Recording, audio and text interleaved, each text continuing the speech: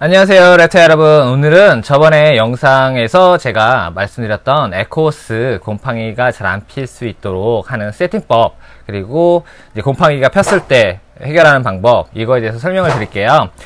이번에는 지금 우선 첫 번째 가장 많이 쓰는 게 에코스라는 이런 흙 같은 건데 이게 코코넛 야자수를 갈아서 만든 제품이에요. 근데 이게 이제 화훼단지나 이런 데서 사시다 보면 아니면 업체마다 샵마다 좀 판매하는 게 좀 달라서 입자가 얇은 게 있고 그 입자가 두꺼운 거랑 섞여 있는 게 있어요. 입자가 굵어야지 좋은 거고요. 입자가 얇으면 얇을수록 별로 좋지 않은 거예요.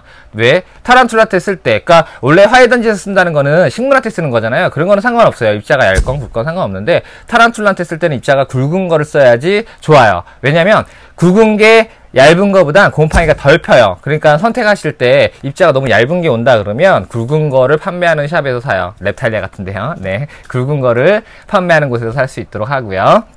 그리고 우선 곰팡이가 왜 생기느냐? 보통 이제 많은 사람들이 먹이를 많이 줘요. 먹이. 먹이, 미럼을 많이 주는데, 미럼에 보면, 미럼은 바닥재, 그러니까 예를 들어서 이게 사료라 그러면,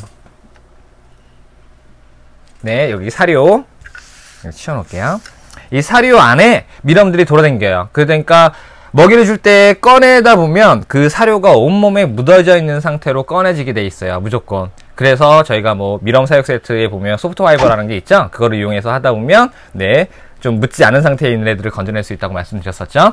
보통은 이제 미럼 사육할 때나 관리할 때나 이런 사료에다 넣어놓고 있는데 저희 같은 경우는 이제 바닥재라고 말씀드리죠. 바닥재에 넣고 있는데 그걸 꺼내서 주실 때 조금 물기, 가 가루가 묻어있지 않은 상태로 만들어 주셔야 돼요. 그렇게 만들고 나서 먹이를 주셔야 되는데 그냥 잡아서 눌러서 주시면 거기에 조금씩이라도 묻어있는 가루들이 조금씩 조금씩 조금씩 떨어져서 눈에 잘 안 보이더라도 미세한 가루들이 있어요. 그 가루들이 이 바닥재 에코스라는 데 떨어져요. 그리고 이 바닥재는 에코스라는 게 적셔 놓잖아요. 젖어, 적게 만들어 놓잖아요. 젖어 있기 때문에 곰팡이가 피는 거예요. 만약에 말라 있으면 곰팡이가 안 펴요. 근데 젖어 있고 젖은 상태나 아니면 습도가 높은 상태일 때는 곰팡이가 펴요. 예를 들어서 먹이 찌꺼기나 아니면 귀뚜라미를 줬을 때 죽어서 곰팡이 핀다 그러잖아. 그 죽은 시체에 그 아니면 그 먹이 찌꺼기에 있는 수분이 있기 때문에 곰팡이가 피어나는 거예요. 완전히 마른 상태라고 한다면 곰팡이가 필 수가 없어요. 그래서 보통 일반적으로 타란툴라 키울 때는 바닥재가 젖어 있고 그리고 미럼을 잡아서 주시다 보니까 미럼 가루가 어떻게든지 조금씩이라도 들어갈 수밖에 없어요. 그래서 곰팡이가 피고 그거를 늦게 발견하면 전체적으로 퍼지거나 아니면 일부가 일부분에 곰팡이가 피는 현상이 일어나는 거예요.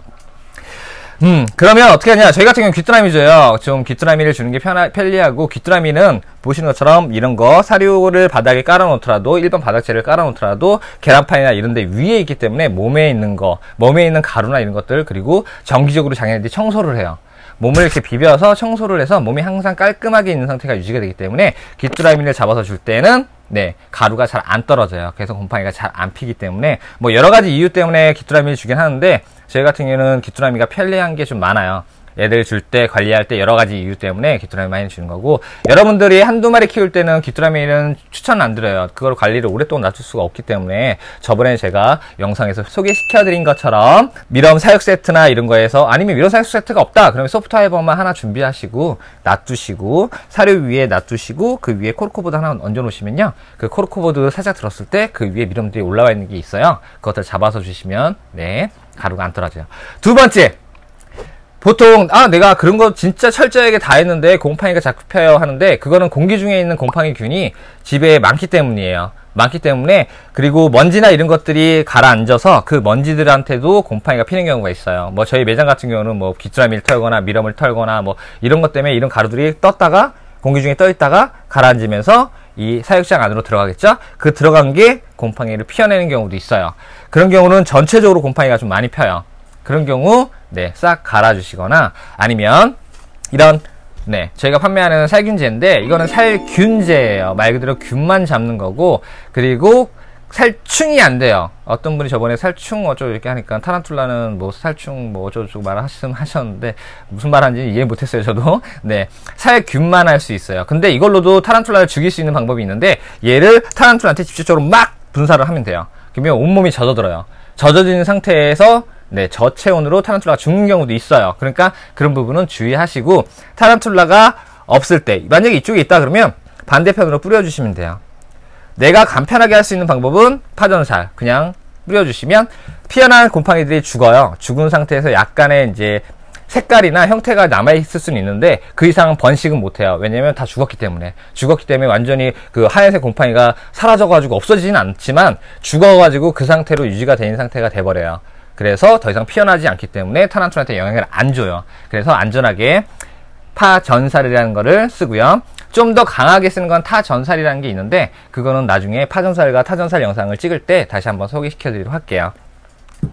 그러면 이제 어떻게 하느냐 얘네들을 곰팡이를 잘 안 피게 할 수 있는 방법 알려주세요. 네 간단하게 우선 입자가 큰 거를 선택을 하셨다 그러면 보통 아까도 말씀드린 것처럼 바닥재가 말라 있는 상태와 젖어 있는 상태가 있어요. 젖어 있을 때 곰팡이 핀다 그랬죠? 말랐을 때는 곰팡이가 안 펴요. 잘 거의 안 펴요. 패더라도 먹이 찌꺼기나 먹이 시체, 귀뚜라미나 미럼 시체 그 부분에 살짝 피고 말아요. 그러면 그것만 건져내시면 되고 만약에 전체적으로 폈다 그러면 싹 갈아주시거나 파전살 쓰시고 그러면 처음부터 곰팡이가 잘 안 피게 만들어줄 수 있는 방법은 아까 말씀드린 것처럼 미럼에 몸에 묻어있는 네, 사료가 사육장 안으로 들어가지 않도록 사육장, 미럼 사육 세트장을 그렇게 꾸며주시고 미럼 가루가 묻어있을까 사료가 묻어있지 않는 미럼을 공급해 주시는 게 제일 중요하고요. 그리고 두 번째, 먹이 찌꺼기가 남지 않게 저번에도 타란툴라 영상 제가 초보자 가이드에서 말씀드린 것처럼 타란툴라 체장, 체장보다는 살짝 작게 먹이를 주시다 보면 먹이 찌꺼기 되게 조금 남거나 네, 거, 많이 안 남아요. 그렇게 하면 곰팡이가 피는 거를 좀 줄일 수가 있어요. 먹이를 너무 많이 주시면 무조건 먹이 찌꺼기 남고 그게 곰팡이를 생겨나게 만들어냅니다. 그러니까 그런 부분을 알아두시고요. 음, 그러면 이제 다른 용품을, 다른 바닥재를 활용해서 쓰는 방법인데 어, 간단하게 설명드릴게요. 지금 저희가 사우나를 갔다고 쳐요. 사우나를 갔는데, 음, 예를 들어서, 습한 그, 그 뭐라 그러죠? 사우나실. 그렇죠? 사우나실에 들어갔어요. 사우나실 들어가면 나무 같은 게 있죠? 근데 그 나무는 말라 있어요. 바닥면이. 그죠? 내가 발을 밟고 당기는 부분에 말라 있어요. 말라 있고, 또, 안에는 엄청 습해요. 그러면 그 마른 부분, 아까 것처럼 말라 있는 데가 있으면 곰팡이는 안 생겨라고 말씀드렸었죠? 그래서 하는 게 sand입니다. 예전에 제가 17년, 16년 전이군요. 16년 전에 이 sand를 사용해서 말씀을 드렸더니 어떤 분들이 저희 랩탈리아를 싫어하는 분들이 이런저런 이상한 말들을 많이 했는데 sand만 쓰면 안 돼요. sand만 사면 애들이 밟았을 때 밀려요, 자꾸. 그래 물을 뿌려놔도 금방 마르기 때문에 자꾸 밀려요. 바닥에 거미줄을 쳐도 거미줄이 다 밀려서 진짜 안 좋아요. 얘를 그렇게 쓰는 게 아니에요. 그렇게 쓰는 게 아닌데 저희가 그렇게 설명을 샌드를 쓰라 그랬더니 이상하게 그런 말도 안 되는 소리를 자꾸 하면서 네, 안 좋게 말을 했었는데 이거를 쓰면 좋아요. 왜? 샌드는 빠르게 마릅니다. 완전히 돌로 돼 있고 가늘기 때문에 빠르게 말라요. 빠르게 마른다는 건 뭔 말이냐면 물을 적셔서 적셔 놓으시면 맨 위에가 가장 빠르게 마르고요. 그 중간이 적게 마르고 맨 밑에가 가장 늦게 마르죠. 그렇기 때문에 샌드를 이렇게 사육장에 위에 젖어 있는 부분 질석에 이렇게 뿌려 놓으시면 적당량 뿌려 놓으시면 돼요. 적당량. 이렇게 적당량. 이따 제가 한번 다시 보여드리도록 할게요. 이렇게 적당량 뿌려 놓으시면 얘네가 샌드가 또 두 번째 역할을 뭐냐면 수분을 날려버려요. 빠르게. 날려버려요. 날려버리면서 자기가 빨리 말라요. 그래서 위컵 표면은 가장 빠르게 말라있는 상태가 유지가 돼요. 이 상태가 된다 그러면 여기서 먹이 찌꺼기건 가루가 들어가도 곰팡이가 덜 피고 잘 안 피게 되는 상황이 벌어지는 거예요. 여기에 살짝만 도포했기 때문에 타란툴라가 밟아도 밀려나진 않아요. 밀려나지도 않고 딱 건조한 상태를 겉표면만 유지시키고 밑에 습하게 젖어 있는 부분에 습기는 계속 올라올 수밖에 없어요. 올라와요. 올라오는데 습도는 유지되면서 겉표면은 마르게 빠르게 마르게 해가지고 곰팡이가 들 피게 하는 방법이 있습니다. 두 번째 이 soft fiber를 이용하는 거예요. soft fiber를 이용해서 어느 정도 저희 세트물에 보시면 많이 설명이 되어 있죠. 세트 저희 설명 부분에 soft fiber를 많이 쓰는데 그 이유가 곰팡이를 적게 피게 하는 방법도 포함이 되어 있어요. 이 soft fiber를 살짝 어느 정도 위치 살짝만 깔아주시면 얘네가 먹이 찌꺼기나 이런 것들이 여기 위에 걸쳐요. soft fiber에. soft fiber는 지금 보시면 보시는 것처럼 공중에 공기가 뜰 수 있게 여러 가지 가닥이 막 뭉쳐 있죠. 그러다 보니까 바닥에 직접적으로 젖는 부분에 안 닿아요. 안 닿아 있는 상태로 찌꺼기가 위에 돼 있을 수밖에 없는 상태가 돼서 그 상태로 마르거나 그 상태로 곰팡이 피다도 먹이 찌꺼기만 곰팡이가 펴버려요. 그러니까 쉽게 개만 잡아서 뽑아서 없애주시면 네, 됩니다. 근데 밑에는 바닥재는 젖어 있고 얘 소프트 화이버는 특성상 잘 안 젖죠? 안 젖다 보니까 오랫동안 네, 유지시켜 줄 수가 있어요. 그래서 이 두 가지 간단한 이 두 가지 방법 아니 세 가지죠?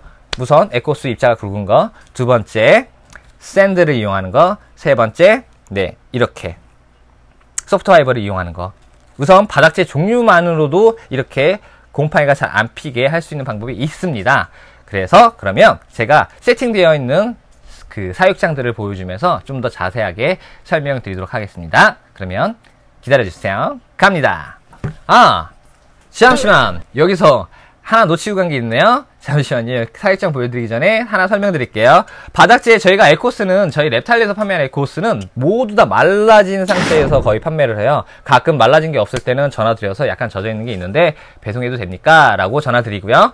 보통은 완전히 마른 상태로 저희가 건조를 시키고 나서 판매를 하는데 그게 보통 한 번에 에코스를 다 쓰지 않기 때문에 그거를 오랫동안 보관해도 냄새 나거나 썩거나 이런 것들을 좀 예방하고자 저희가 일부러 건조시켜서 판매를 하고 있고요. 건조시키는 샵은 없을 거예요. 저희밖에. 네, 건조시켜서 판매를 하고 있고 오랫동안 유지시킬 수 있는 거예요. 그러다 보니까 물을 줬을 때 좀 많이 빨리 안 젖어들어요. 빨리 안 젖어들기 때문에 그런 부분은 좀 물 부어 놓으시고 시간이 지나면 젖어드니까 하루 정도 놔두시면 돼요. 그냥 해놓고 세팅해놓고 물 부어놓으시고 시간 지나면 젖어 알아서 젖어 있어요. 그러니까 그냥 그런 거 걱정하지 마시고 그러면 가장 많이 궁금해하는 부분이 아 물은 얼마큼 부어야지 돼요라고 하는데요. 보통은 간단하게 설명드릴게요. 사육장에 있으면 내가 에코스 양을 간단하게 피클통으로 해볼게요. 피클통의 양을 내가 하나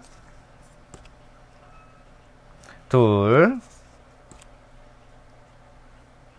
셋, 음, 세 개를 벗어요. 어, 세 개를 벗어요. 이만큼 됐네요. 아, 난 이만큼만 깔아도 될 것 같아. 그러면 보통 물 양은 3분의 1 정도. 항상 내가 바닥재를 깔았을 때 바닥재 양의 3분의 1만큼의 물을 넣어주면 돼요. 간단하게 한, 아까 3컵 넣었죠? 3컵 넣었으니까 한 컵을 물을 한쪽으로 부어주시면 돼요. 그러면 살짝 에코슬이 떴다가 지금 가라앉는데 많이 말라 있을수록 얘가 물이 아래로 깔리고 애들이 코스가 위로 떠요. 근데 시간이 지나면서 점점 점점 점 스며들기 때문에 이 상태로만 놔두시면 됩니다. 그리고 이게 젖어 있는 양에 따라서 조금씩 조금씩 그 물 주는 양이 좀 다르긴 하는데 항상 3분의 1 정도 적신다고 생각하시면 돼요. 그렇게 해서 물을 공급해 주시면 됩니다. 네, 간단하죠? 그러면 영상 사육장 영상으로 넘어갈게요. 고고!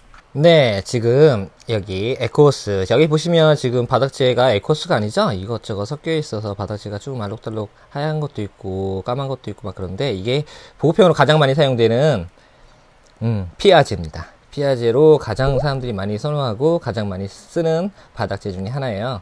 에코스가 제일 많겠지만 그 다음으로요. 지금 보시면 전체적으로 바닥재 봤을 때 아, 지금 제가 이렇게 카메라를 들고 찍는 거는요. 저 혼자 찍는 거예요. 혼자서 촬영하는 거라 혼자서도 되게 잘합니다. 네. 보세요. 여기 보시면 이쪽 부분하고 이쪽 부분, 이쪽 부분하고 이쪽 부분하고 좀 달라요. 이쪽에 보면 약간 하얗게 뭐가 떠 있죠? 네, 곰팡이에요. 곰팡이가 전체로 퍼져 있는데 이게 지금 거미줄 때문에도 이렇게 생겨나기도 해요. 거미줄을 많이 천 상태에서 그쪽에 이제 수분이 이제 제대로 날아가지 못하니까 그 상태에서 이제 곰팡이가 생겨나기도 하고 얘네 털 때문에도 조금 이렇게 하얗게 번져서 생, 곰팡이가 생겨나는 경우도 있더라고요. 근데 보통은 뭐 이런 경우 뭐 크게 걱정 안 하셔도 되고요. 이럴 때는 네 파전살 타란툴라가 우선 안 보이니까 파전살로 이렇게 칙칙 적셔주세요. 네, 타란툴라 있으면 안 되겠죠? 적셔주시고, 네. 그리고 샌드를 살짝 뿌려주시면 돼요. 이렇게 척척척척척척척. 네. 이러면, 네. 해결됐습니다. 끝! 네. 안 갈아주셔도 돼요. 그런데 신경이 쓰인다? 그러면 갈아주시는데, 우선 첫 번째, 알아둬야 될 것. 여기서 중요한 팁. 곰팡이균에 엄청나게 강한 타란툴라는, 네. 버러우성 타란툴라. 그리고 두 번째가, 두 번째 강한 애들이 배회성, 그 다음에 나무위성이에요. 나무위성 갈수록 위험해지고 나무위성 중에서 핑크토, 핑크토 애들은 무지막지하게 약해요. 무조건 예, 의문사의 90% 이상을 차지하는 게 곰팡이균입니다. 배회성들도 좀 잘 참고요. 버러성들도 더 잘 참는데 버러성은 더 많이 잘 참아요. 네, 곰팡이균에. 네. 보시면 지금 배회성 사육장이고 지금 얘도 보시면 보여드릴게요. 이쪽 부분, 이쪽 부분, 이쪽 부분 보면 약간 음, 곰팡이균 같기도 하고 거미줄하고 같기도 하고 뭐 이상하게 색깔이 하얗게 떠있는데 예, 이것도 마찬가지로 고, 거미줄에 곰팡이균이 살짝 생겨난 거예요. 뭐 이렇게 생겨난 것도 마찬가지로 파전사를 뿌리는데 타나솔라가 옆에 있으면 안 돼요. 지금 보시면 거미줄 안쪽으로 곰팡이가 살짝 살짝 펴 있어요. 나머지 부분에는 곰팡이가 안 펴 있고요. 아까 말씀드린 것처럼 네, 습기가 제대로 안 날아간 상태에서 그 상태에서 곰팡이가 생겨난 거라 네, 이 부분 뭐 크게 걱정 안 해도 돼요. 어차피 거미줄이 한 번 막고 있기 때문에 걱정 안 해도 되는데 그래도 네, 안전을 위해서 파전살 착착착 착착착 색깔 젖어들었죠? 여기서 살짝 또 네, sand 살짝 뿌려주면 끝! 얘도 끝. 얘를 보시면 네, 전체로 봤을 때 괜찮은데 이쪽, 이쪽, 이쪽 부분이 살짝 색깔이 다르죠? 여기 곰팡이 핀 거예요. 이 곰팡이 핀 거는 아까도 말씀드린 공기 중에 먼지나 이런 이물질 같은 게 가라앉았다가 네, 곰팡이가 생겨난 거거든요. 이런 부분은 똑같이 이 부분을 없애주거나 똑같이가 아니고 똑같이요. 네. 발음이 꼬이네요. 네, 이렇게 뿌려서 파전살 뿌려주셔도 싹 사라져요. 왜 심하게 핀 게 아니기 때문에요. 살짝만 뿌려놓으셔도 사라집니다. 이렇게 해서 관리가 하면 되고 이제 보시면 또 배회성 중에 팜포 레서 세트 네 사육장이죠. 지금 얘는 레서가 들어가 있고요. 사육장에 보시면 봅시다. 여기 지금 까맣게 보이는 거, 네, 여기 여기 까맣게 보이는 게 뭐냐? 음, 잘 안 보이네요. 네, 보이시나요? 네, 귀뚜라미 먹고 남은 찌꺼기가 저기 안에 짱 박혀 있는 거예요. 근데 보시면 어 시체가 있는데 곰팡이가 안 펴 있네요. 네, 이런 경우도 있어요. 좀 적게 만들어 놓으면 바닥재가 젖어 있는 상태에서 곰팡이가 잘 안 펴요. 왜냐면 물이 썩지 않기 때문에. 아, 아까 설명 안 드렸네요. 샌드를 쓰는 이유는 샌드가 썩지 않는 물질이기 때문이에요. 그래서 샌드를 위에다 살짝 도포해 놓은 거예요. 곰팡이는 썩는 물질, 썩는 물질의 곰팡이가 펴요. 그러니까 에코스나 뭐 soft fiber나 나무나 유목이나 코르크보드나 모든 썩을 수 있는 재질의 뭐 재질은 다 곰팡이가 피는 거고 썩지 않는 거 이런 예를 들어서 플라스틱 사육장 뭐 이런 뭐 sand 아니면 뭐 황토 뭐 이렇게 썩지 않는 물질은 곰팡이가 안 피기 때문에 그런 것들을 이용 응용해서 쓰는 거예요. 저번에 설명드린 것처럼 이런 아크릴, 아크릴 유목, 아크릴 유목도 썩지 않죠 아크릴이라. 네, 그렇기 때문에 사용되는 거고, 얘 같은 경우는 지금 소프트 하이버가 깔려져 있고, 약간 물사육 세팅으로 사육하는 세팅법이죠. 네, 이렇게 해서 하면 곰팡이가 잘 안 생겨납니다. 이런 경우는 그냥 먹이 찌꺼기만 빼주시면 되고, 그리고 저기 보시면, 여기도 약간 배설물 같은 게 보여요. 예, 배설물.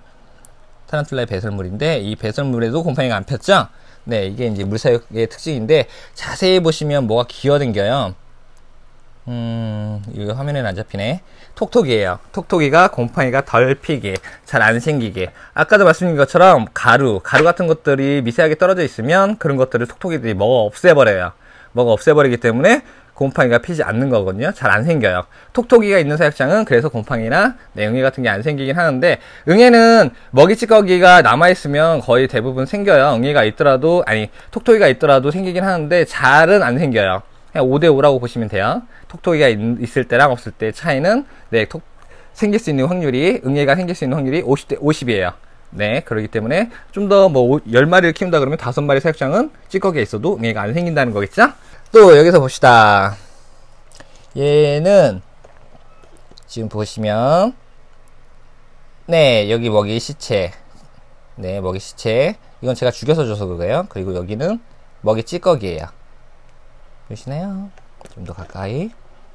초점 잡고. 그렇지. 얘는 먹고 남은 찌꺼기고요. 얘는 먹지 않은 귀뚜라미예요. 지금 소프트 하이버 위쪽에 있다 보니까 네 그 상태로 죽어서 마르고 있어요. 곰팡이가 전혀 안 생겼죠? 왜냐면 지금 겨울이에요. 겨울이고 건조한 상태에서 이 맨 위 사육장 맨 위쪽에 건조한 위치에 소프트 하이버가 건조하게 위치를 만든다. 그랬죠? 지금 보시면 버럭 세팅인데 밑에는 젖어 있고 소프트 하이버가 올라가면서 마른 상태가 돼 있어요. 여기는 아까 말씀드린 것처럼 샌드처럼 네 소프트웨어가 건조 지역에서 만들어지면서 건조 지역에 먹이 찌꺼기나 이런 것들이 곰팡이가 잘 안 생기고 그 상태로 마르는 현상이에요. 이렇게 하면 관리가 좀 편하겠죠? 두 번째 사육장은 네 얘는 귀뚜라미를 제가 풀어서 놔둔 건데 네 귀뚜라미 풀어서 놔둔 건데 지가 돌아다니다 돌아다니다 돌아다니다가 네 먹을 거 없고 그래서 그냥 죽은 거예요. 보통 나무위성을 살아있는 채로 넣어주는데 죽어서 여기에 있는 거예요. 지금 준지는 지금 3일 4일 됐는데 네 썩지도 않고 곰팡이 썩은 썩긴 했겠네요. 네 곰팡이가 안 폈어요. 네 이 상태에서 얘만 빼주시면 돼요. 지금 보시는 것처럼 네 바닥은 젖어 있지만 위에 soft fiber 때문에 위에는 완전히 마른 상태가 돼 있고 마른 상태의 위치에 또 아크릴판도 있고 아크릴판 위에 soft fiber가 있고 그 안에 귀뚜라미가 있는데 당연히 네 건조 지역에 있으니까 그 상태로 썩으면서 마르겠죠 네 그래서 곰팡이가 안 피는 겁니다 이거는 그냥 보여드리는 건데 얘도 똑같아요. 아까 설명드린 것처럼 젖은 바닥재 여기가 에코스 부분이 되겠죠? Eco Earth 위에 soft fiber를 살짝 깔아 놓으시면 먹이 찌꺼기나 이런 것들이 얘네들처럼 중간에 걸쳐요. 얘들처럼. 이렇게 위에 걸쳐 있기 때문에 네, 그 부분에 곰팡이 피거나 먹이 찌꺼기가 보이면 빼내시면 네, 전체 바닥재에 젖어 있는 부분에 영향을 안 주기 때문에 소프트 파이 소프트 와이버를 깔아주는 겁니다. 저기 구티가 구티 구티 구티 구티 구티. 네, 구티가 있네요. 네, 여기는 좀 특별한 세팅이자 이걸 사육장 저희가 원래 세트 물이 있는데요. 이것도 나중에 소개시켜 드리도록 할게요. 네. 그러면 또 다음 버전. 얘도 지금 보시면 사육장은 원탑 투대예요. 네, 원탑 투대. 지금 입구를 막고 있는데 미세하게 입구를 막고 있어요. 지금 보시면 얘는 보여드릴 게 뭐냐면 먹이 찌꺼기들이에요. 여기도 먹이 찌꺼기, 여기도 먹이 찌꺼기. 보이시나요? 네, 먹고 남은 찌꺼기. 여기도 먹이 찌꺼기. 그리고 여기도 먹이 찌꺼기 있네요. 네, 청소를 제가 안 했네요. 네. 이렇게 놔둬도 되는 이유가 세팅한 방법이 이렇게 먹이 찌꺼기가 오랫동안 놔둬도 큰 문제를 일으키지 않기 때문에 이렇게 놔둔 거예요. 이렇게 놔둬도 크게 영향을 안 끼쳐요. 응애나 이런 것들이 안 생겨요. 왜요? 네, 지금 겨울철이고 그리고 건조 지역에 있기 때문에 먹이 찌꺼기들이 그 상태로 말라버려요. 곰팡이도 안 피고 응애도 잘 안 생겨요. 그리고 저희 사육장 전 사육장에는 네, 톡톡이라는 게 존재합니다. 그리고 톡톡이님께서 열심히 네, 냠냠냠냠냠 네, 곰팡이를 먹어치우진 않아요. 근데 먹이 찌꺼기들을 조금씩 조금씩 없애기 때문에 곰팡이가 틀, 그러니까 생기기 전에 조금씩 조금씩 갉아먹어 없애버리다 보니까 곰팡이가 안 생기는 것 같아요. 음, 그리고 네 그렇게 돼 있고요. 지금 바닥지에 기능성 물도 끌어올려가지고 조금씩 조금씩 보이네요. 네. 그 다음 사육장 네 지금 보시면 기본적인 저희 피아제 바닥재에 지금 빨간색으로 보이는 여기야 빨간색 보이는 거 있죠? 이렇게 자자자하게? 네 이거는 전체적으로 저희가 샌드를 뿌려 놓은 거예요. 샌드를 뿌려서 세팅을 해 놓은 거예요. 이건 지금 세팅한 지 3일 됐고요. 음 보시는 것처럼 바닥재가 전체적으로 젖어 있지만 네 곰팡이나 이런 것들은 볼 수가 없겠죠? 왜냐면 먹이를 먹었는데도 찌꺼기가 있어도 네 지금 잘 안 생겨요. 샌드를 깔아 놓으면요. 네 좋고 네 그리고 완전히 다른 방식이에요. 이거는 저희가 굽는 황토, 굽는 황토를 이용해서 은신처도 만들고 지형도 만들어서 굳혀가지고 놔두고 그 위에 뭐 샌드를 살짝 뿌려놓은 건데 이거는 지금 바닥재가 아예 없어요. 이 자체가 그냥 바닥재 겸 은신처 겸 뭐 장식물 겸 겸겸 했는데 얘는 뭐 rose hair 유체가 들어가 있긴 유체가 들어가 있어요. 그 대신 저희가 물그릇은 큰 거 썼죠? 네, 탈피할 때나 이럴 때 습도 때문에 좀 큰 거 쓴 거예요.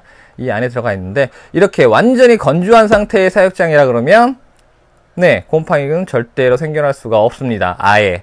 아예 생겨날 수가 없기 때문에 고객님께서 그래서 제가 sand라는 거를 위에 뿌리거나 soft fiber를 놔둬서 건조한 지역을 만들어 주는 거예요. 타란툴라가 스스로 습한 지역도 가지만 건조한 지역에 가고 싶을 때 너무 습했을 때 피할 수 있는 공간도 되지만 이런 먹이 찌꺼기나 이런 거에 곰팡이, 응애 이런 거로 안전하게 네, 피할 수 있는 공간을 만들어주기 위해서 건조 지역, 습한 지역을 같이 사육장 내에 공존시켜 주세요. 라고 많이 말씀드리는 거예요. 건개건, 습개건. 네. 기억해 주세요. 건개건, 습개건. 건조한 데랑 습한 데. 단, 네, 아성체 이상, 건개인데 아성체 이상 넘어가면요. 조금 너무 습하면 애들이 좀 힘들어해요. 벽에 많이 매달려 있는데 그럴 때는 사육장 좀 큰 거 쓰셔서 한쪽은 살짝 습하게 한쪽은 건조하게 만드시면 탈피 부전이 안 생깁니다. 이번에 사육장은 그 두 가지를 다 응용한 거예요. 지금 보시면 대나무 은신처에 지금 하얗게 보이는 게 네, 하얗게 보이는 게 이게 sand예요, sand. 지금 여기 갈색 진하게 밤색으로 보이는 게 에코어스. 에코스 사람들이 가장 많이 쓰는 에코스 젖으면 이렇게 진한 갈색이 돼요. 그리고 네, sand 뿌려놓고 그 위에 soft fiber를 써서 이 두 가지를 다 응용한 거예요. 지금 보시면 음, 여기 있는데 네. 지금 에코스 양을 보시면 에코스는 보통 일반적으로 바닥재만큼 깔아줬고요. 그리고 sand 높이를 보시면 살짝 도포한 거예요, 도포. 비율을 보시면 아시겠죠? 네, 에코스에 비해서 위에만 살짝, 살짝. 네, 곰팡이가 잘 안 생기도록 하는 거고, 그 다음에 소프트와이버로 한 번 더. 하고 그 위에 은신처를 놔둬서 이렇게 해놓으면 이 소프트와이버 때문에 이 은신처 대나무 은신처가 젖질 않아요. 젖질 않아서 곰팡이가 잘 안 생기게 하려고. 근데 은신처라는 게 가, 이렇게 가둬져 있죠? 이렇게 전체적으로 막혀 있죠? 그래서 이 안에 습기가 맺혀서 곰팡이는 피게 돼 있어요. 네 그래서 음, 곰팡이가 좀 생길 수 있지만 그래도 들피라고 소프트와이버 한 번 더 깔아준 거예요 이런 식으로 배열성 세팅을 하셔도 돼요. 지금 보시면 얘도 에코스의 소프트와이버 그 다음에 은신처 이런 식으로. 제 여기도 지금 보면 기능성 볼에 뭐 질석에 수세 그 다음에 네 소프트와이버 저 은신처 있는 쪽에 깔려 있죠? 다 검이 있고 그 다음에 은신처 이런 식으로. 네 이런 식으로 세팅해 놓으셔서 네 좀 안전하게 사용할 수 있게 해 놓은 거예요. 뭐 이런 건 나중에 또 한번 소개시켜 드리도록 할게요. 그러면 전체적으로 지금 봤어요. 지금 거미 뚜껑을 다 열어놨는데 거미들이 네, 탈출하지는 않았네요. 네, 탈출하지는 않고. 네, 그럼 이번 영상도 말이 길어졌네요. 그러면 안녕.